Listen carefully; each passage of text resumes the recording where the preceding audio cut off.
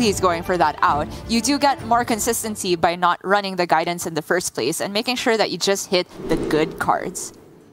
Well, speaking of the good cards, Blitzchung does have a way to find them, arguably with Guess the Weight. But it's a card again, well, sorry, speaking of the good cards, there they are for Posesi. uh, but on Blitzchung's side, Guess the Weight is a card I've had a bit of a complicated relationship with. I, I think I overly advocate for keeping it, and he does go for it here just to uh, get himself some card draw at the start of the game. Uh, but to be fair, it does eat up some potential to go in a little bit earlier.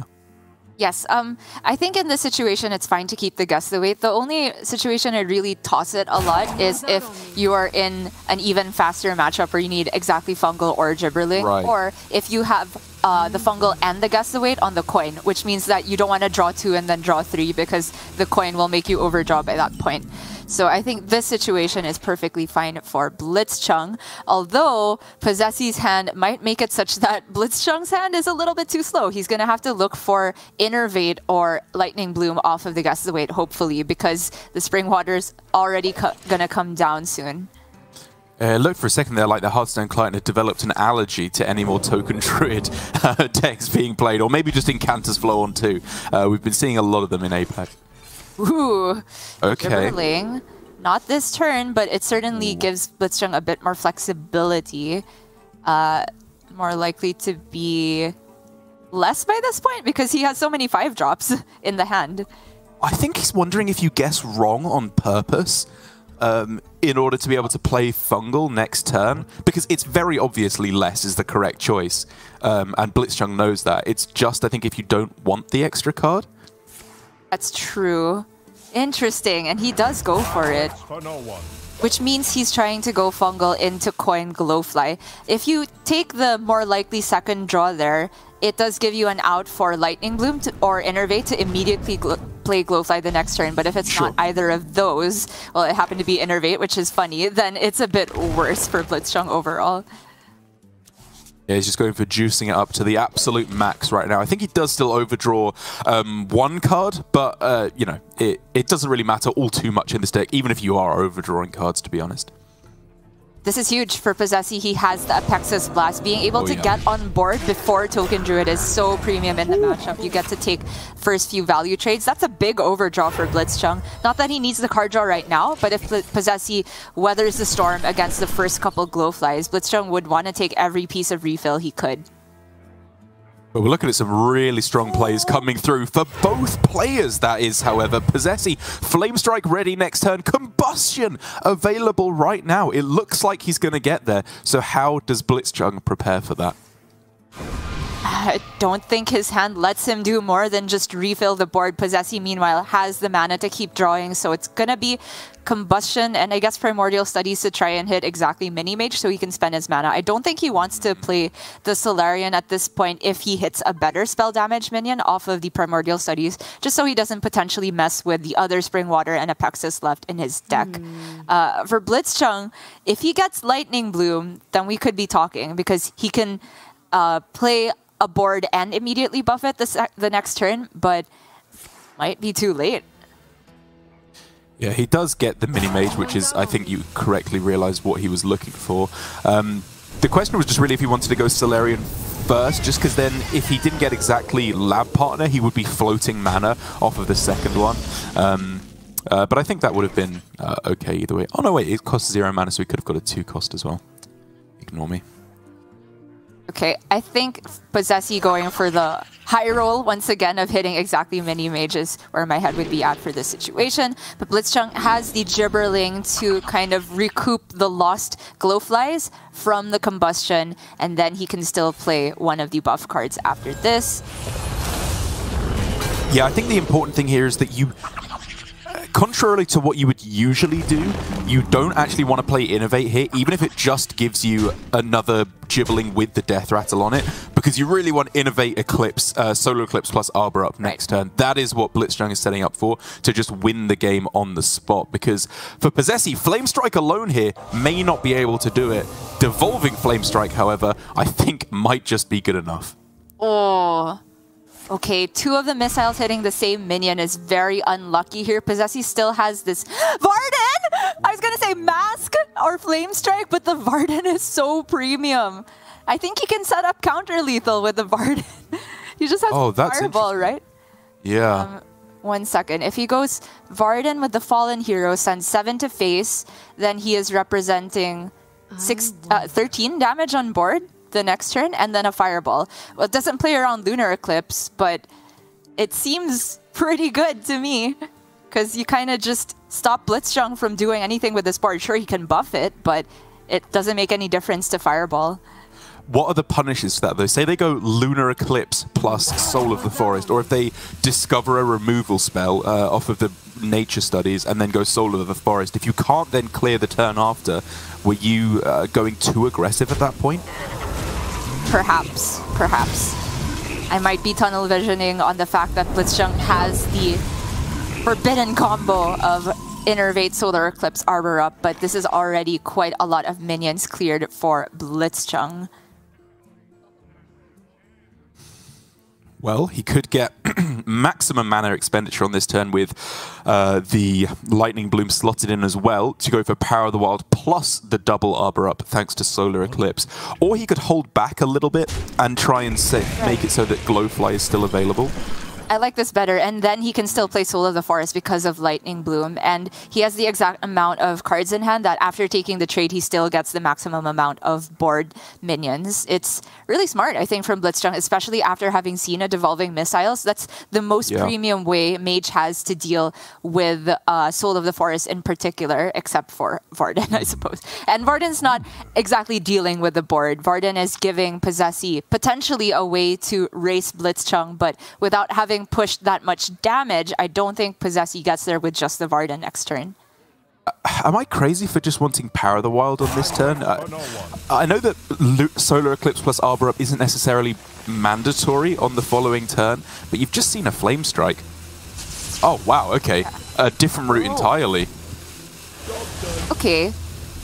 So there were many different paths Blitzchung could have taken this turn, obviously. I think using the Lightning Bloom either way is not a big deal because he still has mana for Arbor up the very next turn. So I think what Blitzchung has done here has tried to set up a board where even if it's combustion and say partial clear on three minions, then the Arbor up would still give him lethal. But against Varden, you just cannot play around that. You cannot, as Posesi gets a complete board lock, deck of Lunacy played, and Gia, he is on a wing and a prayer right now. This needs to be the miracle card. Uh, that oh! is the miracle card, Derek! That's, That's the like miracle card! the best card you can get. Okay, okay, okay. Oh, no! Uh, whiff, whiff, and... Oh! Light whiff? Yeah, that's, that's not good enough. Just not it. No more card draw as well. Blitzchung just gets there. He baited us. He teased us with that perfect top deck, but then into just absolute garbage. You go ring toss into cascading. That's two minions destroyed, and there's still 24 damage left on the board. So even if you hit ice barrier and counter spell, I guess that's the out, right? And then Blitzchung doesn't draw a spell to proc for okay, counter spell next sure. turn. No, good point. Good point. It's still very, very uh, bad, the situation for Posesi, make no mistake. Uh, well, he definitely got offered Counterspell there, and you'd, you'd guess that he picked it as well. Oh, Blitzchung doesn't have mana to test for Counterspell and play Armor. so I think he starts with a 2-2 to the face and then evaluates from there, because if it's not Barrier, he just wins anyway. Or this, yep, same thing. Yeah, he still gets to play a card. Yep. Okay, this is the this is the outcome where Posesi survives.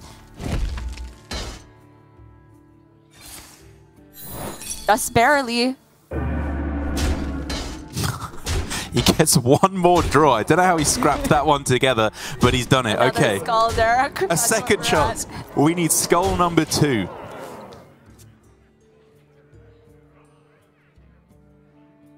Uh, oh! That kills a lot of minions, but these have Death Rattle on them. You can do it with Mask of C'Thun, though, right? Yeah, and but that... I don't think that's likely to clear. There's gonna be 10 health worth of minions. But it's the best he's got! So it's, it's gonna be the got... miracle mask. yeah. Do you go prime first? I don't even know if that's it's just the same as pinging, right? Like one extra damage. Basically, yeah. Well, I guess the prime is on board then, so might as well rather than the ping. And this has to clear every single tree. Throw out the whoops.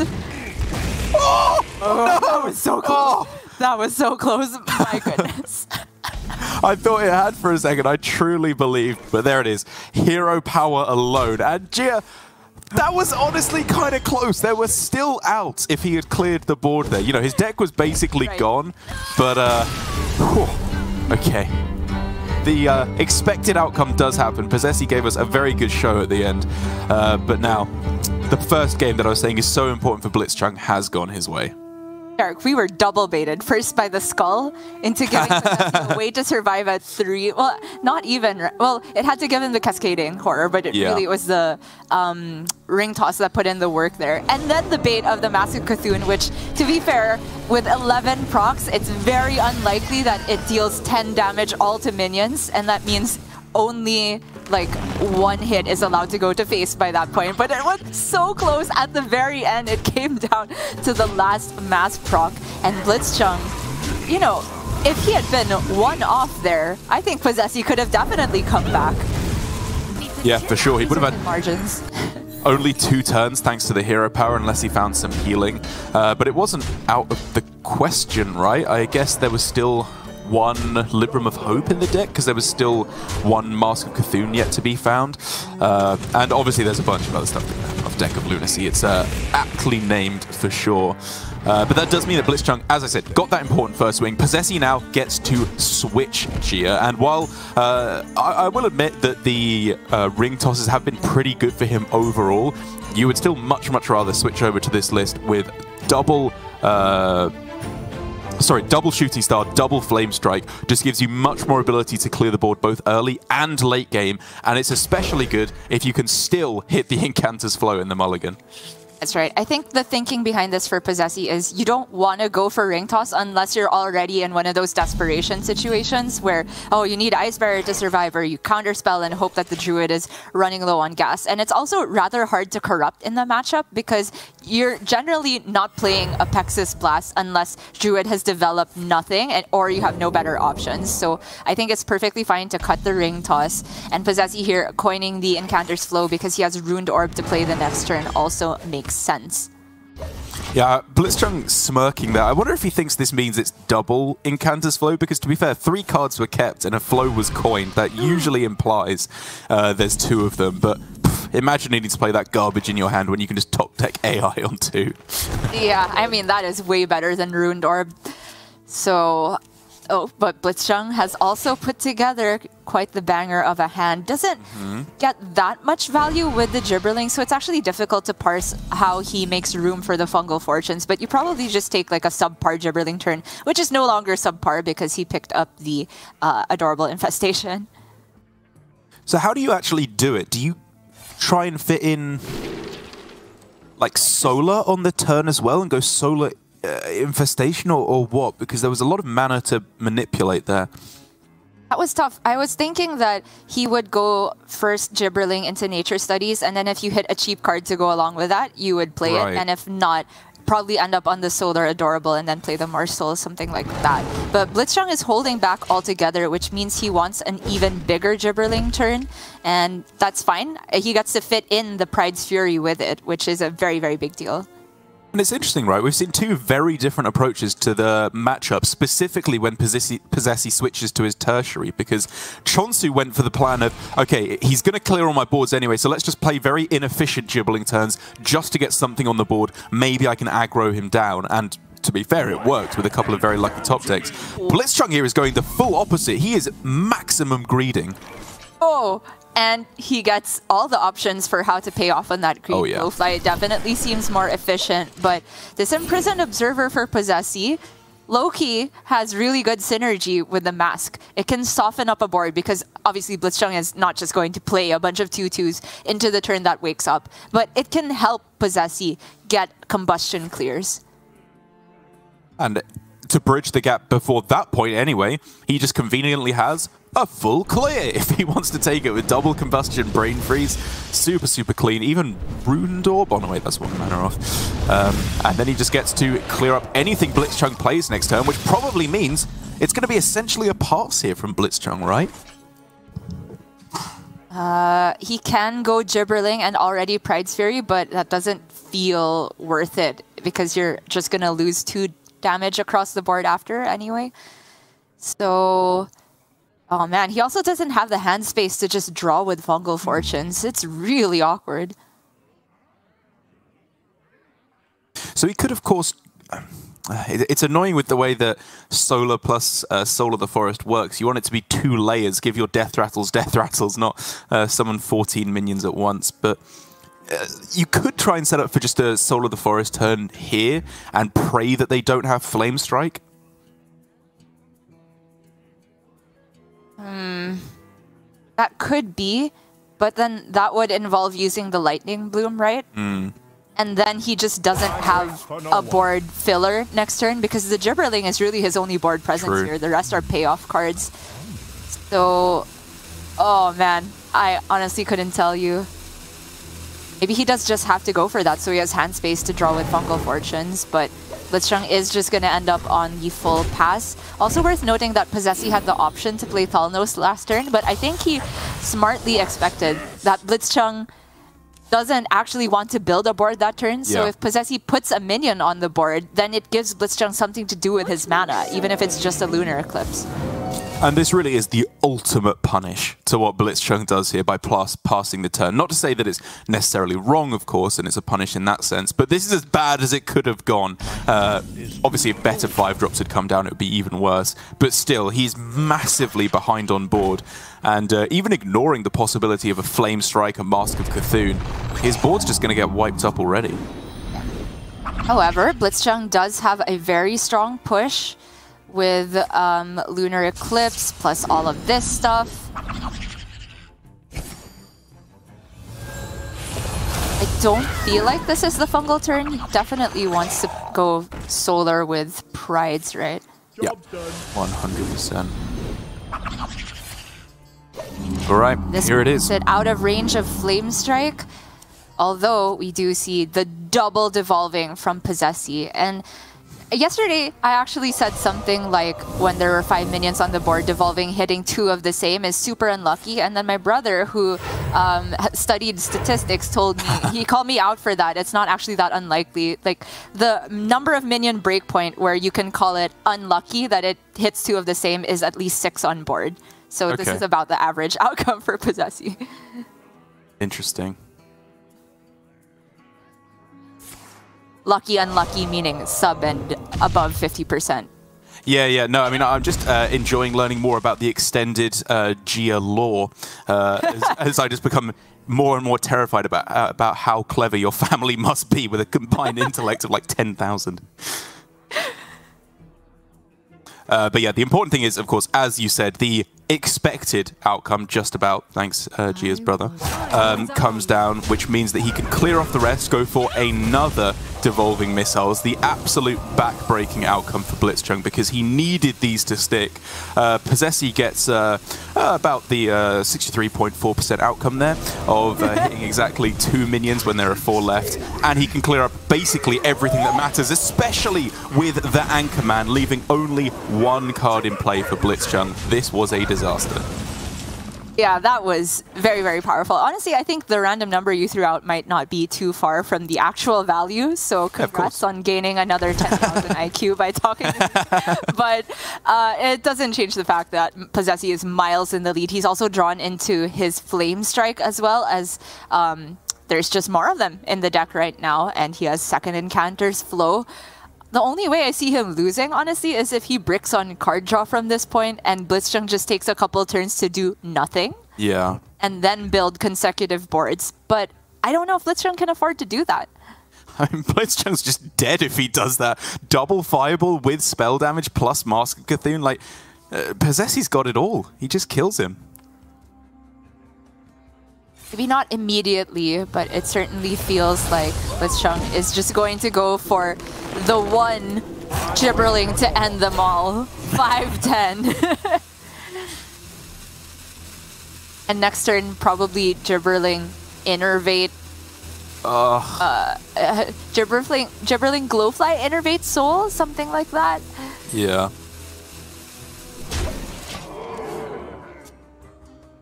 No matter how you slice it, it doesn't feel like it's a winning play. Indeed. Zessie with the second flow, gonna go ahead and draw his deck. Any Brain Freeze is huge here. Even Shooting Star in a single minion, you would take it at this point because yeah. just Fireball and Ping can deal with it now. Uh, doesn't need another shooting star, I'm pretty sure. Yeah, yeah. I mean, honestly, I'm looking at Font of Power just to give yourself uh, more ability to keep uh, dominating the board. Like another right. uh, imprisoned observer was not bad. the Vardens, they never stop. Yeah, they need to chill out. Zessie just has like four game-winning cards in hand. Like, as in individually, they already win the game, but he has all of them. the final push for Blitzchung. This truly is it. If this doesn't get there, the game is just over. And he does manage to get Soul of the Forest, so it's difficult to deal with, to be fair. Um, but even having said that, does Posesi just have lethal? No, not quite, because he used the Fireball previously. At the very least, he can clean this up, no problem. I feel like he's not even playing Varden here because it might make Blitzchung super salty. But the Varden is just the easiest way to go about this. Like yeah. Varden Fireball face, you definitely win the next turn because you've already seen a Lunar Eclipse and Blitzchung is not playing Guidance in any list. There's literally no outs. But if he wants to go about this in a different way without presenting the high rolliest of the cards that he's generated, then sure. Yeah, I think there's uh, many routes here that you can take to a 100% victory. The Varden is the least thinking, though. Oh, now, now I'm interested. Okay, it's after all of that, is the Varden. yeah, really nothing that can be done. It's going to be a, uh, a game three here, I believe now, Gia. As that is just Fireball, lethal represented next turn. Uh, and it's, you know, what we were kind of expecting from Posesi, at the very least to have a much better chance in game two when he switches over to his alternate list. Uh, but will that continue in game three? Was did Blitzchung, like, he didn't have a great hand in all honesty. He was on the play instead of the coin. Uh, it took a, he wasn't going Innervate into Glowfly or anything like that. It only came down on turn five, which is fairly slow in the matchup. You do ideally want to be popping off on turn three or four. And it's because of that imprisoned observer that Posesi generated, which is so sick in the matchup if you're able to set it up in such a way that you got the board clear the turn before that and you can use it as a pseudo doomsayer. Um, or what do you call that? The one mana zero five or sigil of flame. All of these kind of similar effects that yeah. uh, deter your opponent from building onto the board. And it so happens that observer is the perfect shape to deny the best development for Token Druid on top of giving Posesi a minion presence. It just gave him too much tempo for Blitzchung to come back from. And we'll see if Posesi can replicate that because it was not just a perfect font, it was a perfect early Incanter's Flow as well.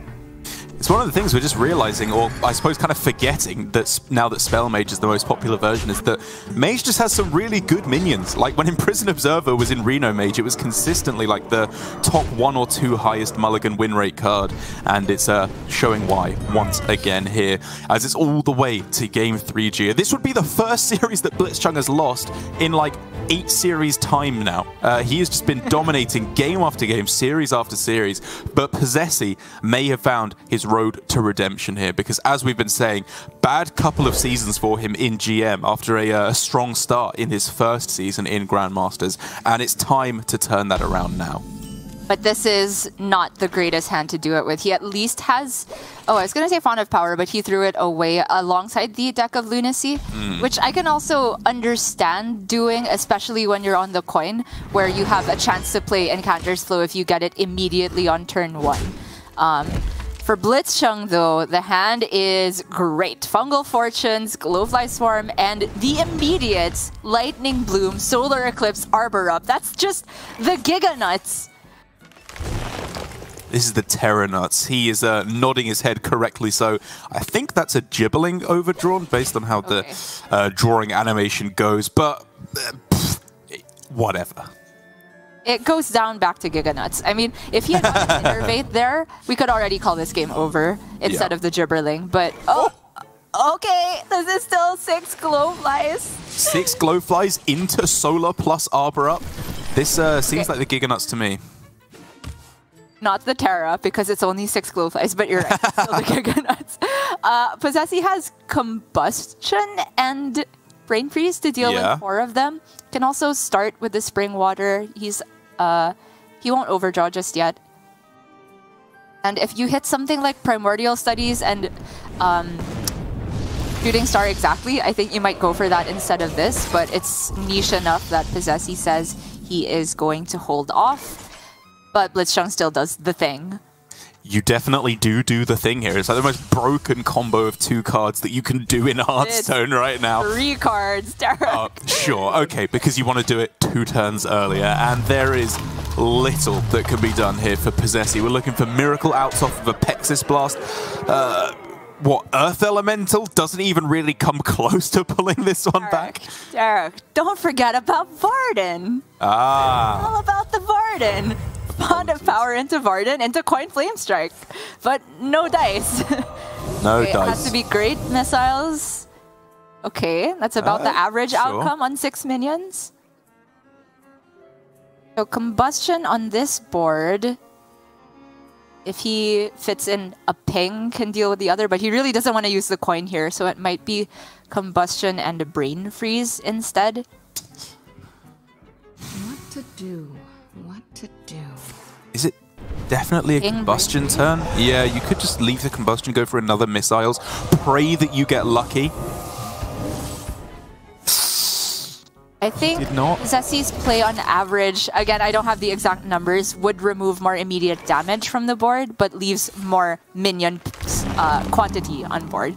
Which is fine if your out is Flame Strike anyway, but Blitzchung has the answer to that, which is Soul of the Forest, and now we are once again on a Varden out, I think. Yeah, I'm sure that if you had uh, 10, 15 minutes, you could figure out the exact odds, Gia, but you don't even have 10, 15 seconds in this game because this is over already. Doesn't even have the out to draw for Varden, as you've been saying. We're looking for the biggest, beefiest five drop you've ever seen.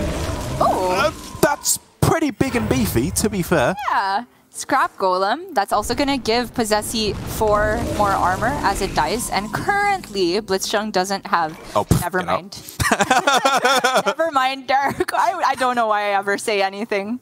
Uh, yeah. Uh, I haven't even thought about counting. That is just lethal. That is a billion extra damage, and Blitzchung is going to be able to win the series. For Posesi, it's so heartbreaking to go out like this. You strive, you strive so hard, 2-0 through the off-stream matches, beating a token druid already, starting to think you'd be able to do it again. But Blitzchung on this druid, he's just unstoppable. He he truly is. Okay, Blitzchung has been playing the deck, I think, to the maximum What's the word? Just the most optimal he can. Right. I don't think I've seen any mistakes or even questionable plays from Blitzchung, and he did at the spots where his deck was not being 100% cooperative, do things like um, deliberately guess wrong on guess the weight to Yeah, make yeah, sure yeah. that he would not overdraw more than one card off of the next fungal fortunes. Stuff like that is what's giving him the extra percentage. But we cannot deny that he's also been getting the absolute best possible token druid hands game after game. It's how you do it, right? We've seen other players fall by the wayside, and uh, Blitzchung just is one with the treants. He's the Lorax uh, of APAC GM. He uh, speaks for the trees because the trees have no tongues. Um, I love that book. Uh, but it does mean that he is going through to the finals. Two weeks in a row, Gia, and we could finally here be seeing our first repeat champion in APAC GM. But what it